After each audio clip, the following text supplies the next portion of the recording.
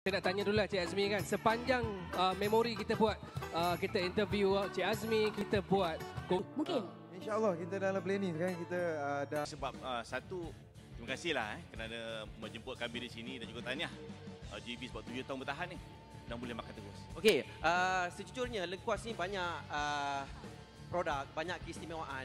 Untuk Cik Aziz, terima kasih Cik Heru. Terima kasih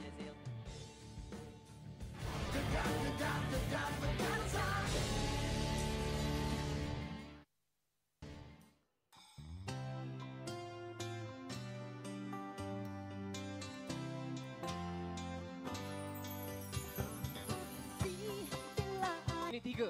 Yeah. Tak tahu? Tak tahu? Lebih baik tak payah buat final. Okey, sekarang ini kita nak jumpa.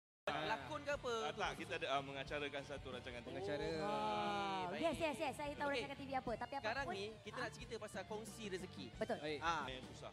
Dia dijadikan sebagai satu contoh, sebagai satu bench supaya orang lain pun ikut turut serta dalam kita punya kempen kongsi rezeki. Betul.